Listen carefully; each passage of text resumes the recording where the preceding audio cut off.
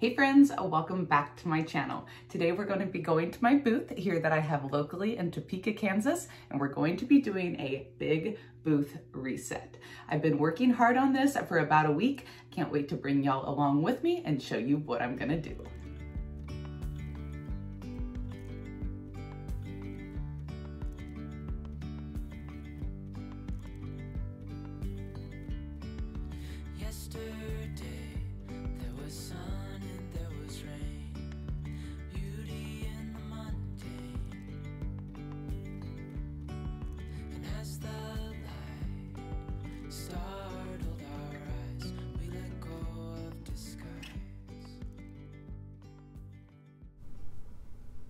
My space was becoming too full of small items.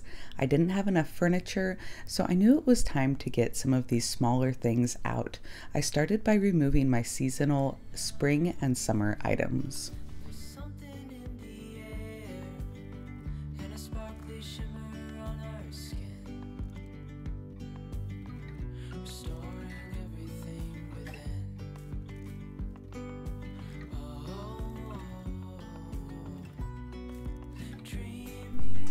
Notice as I'm taking things down, I'm putting them into these big plastic totes so I can easily move them out of my way as I'm restaging. I'm also color categorizing these totes. I have a neutral one, I have one full of purples, one full of reds, one full of yellows. That way, as I'm restaging and storing items for next year, it will be easy and organized already. Here's a look at my space once it's a lot more empty. As I have it empty, I move everything around, sweep and dust, and make sure everything is nice and clean for my customers' shopping experience.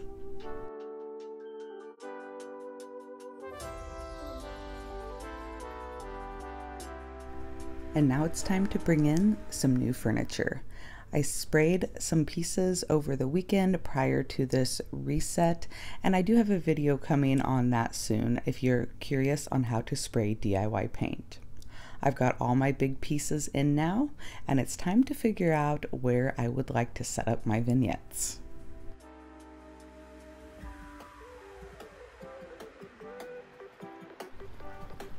I did decide to pull out my paint shelves. I cleaned behind them, but I also took the brackets that were secured to the back of my shelves and secured them up higher onto my door walls. That's going to take my stencil and decoupage paper display up higher, which I think will be easier for people to see and shop.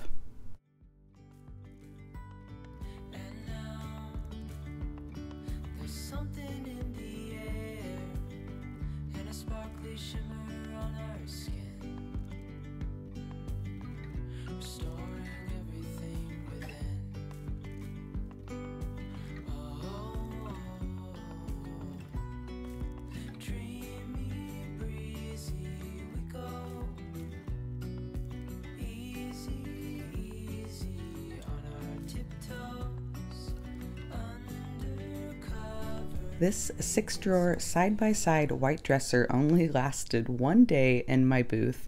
I sprayed it with DIY vintage linen and I numbered the drawers, which I added some apothecary labels to. It sold fast. But while it was here, I took the chance to stage it up.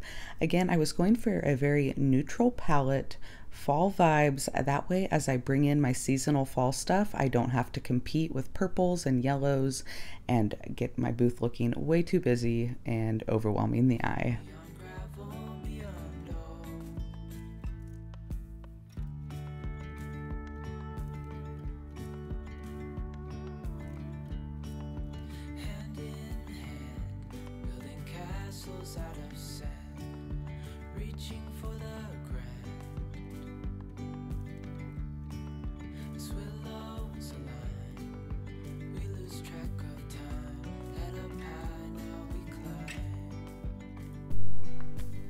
There are several angles in which you can see my booth, so I usually kind of set up four vignettes. And you can see I rearranged my furniture and got those four little sections set up. This oak shelf was free to me. I painted it with Sweet Pickins milk paint. It gave a great chippy look. I'm going to keep it right now for staging in my booth. Here in the front, I put my cute little rusty dresser, this art desk, and a rocking chair. There were definitely some smalls I wanted to keep in my booth, and I loaded them up on this shelf, which kept them all in one spot, up off the ground, more eye level, and super organized. And I just love the way that this chippy shelf display came out. Again, very neutral, very farmhouse, but I am digging it, and I think it's going to be a great start for my fall displays. You might recognize half of this ladder from one of my recent thrift hauls. It sold as well as that topiary very quickly too. So this display only lasted one day, but I am loving the way this back wall looks and I'm glad I got some great video and pictures of it. Drop me a comment down below. What are y'all thinking of my booth revamp so far? Here in the front, I painted this little handmade shelf and put some metal accents on it, and it looks so great with that trunk on top with those matching metal accents.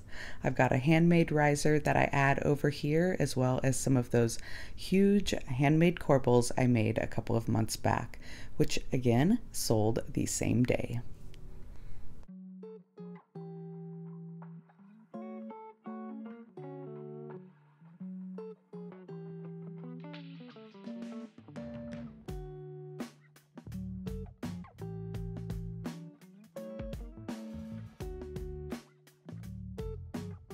If y'all are digging this video, be sure to give me a thumbs up, drop me a comment down below, and let me know that you like these booth videos. That way I can bring you even more amazing content that you love. If you haven't yet, be sure to subscribe and hit the little notification bell to all, and YouTube will let you know every time I upload a new video.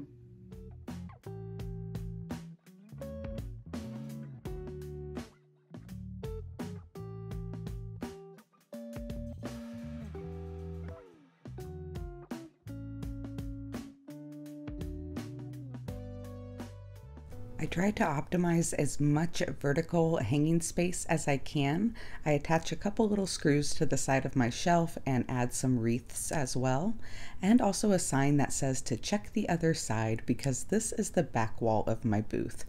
It looked terrible. There was barely anything on it, and I do need to make even more inventory for it, but I did want to at least restyle it. So I grouped some like items together, which made the wall appear a lot more full and added some inventory for sure. I need some fresh new ideas for this wall. If you have a booth space or if this was your wall, drop me a comment below. Let me know what you would do with it and how you would style it. All right, here's a quick recap. This was my booth before. Lots of smalls, lots of floral, and like I said, items had really lost a place, lost a home, and everything ended up on the floor, which is no good. As a reseller, you really want to keep your inventory up higher at eye level. And here is a look after a two day reset.